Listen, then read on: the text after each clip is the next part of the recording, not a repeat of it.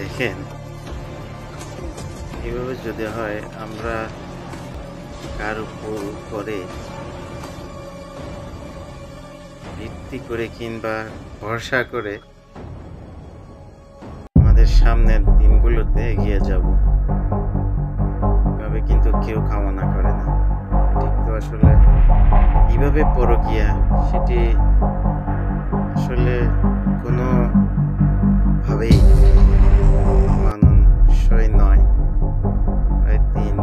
ধরনের এখানে আছে।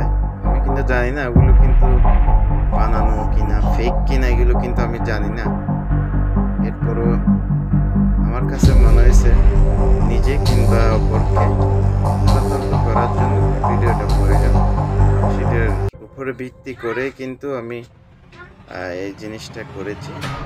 আপনারা দেখেন, দেখতে পারেন। দেখেন। যদি হয় আমরা কার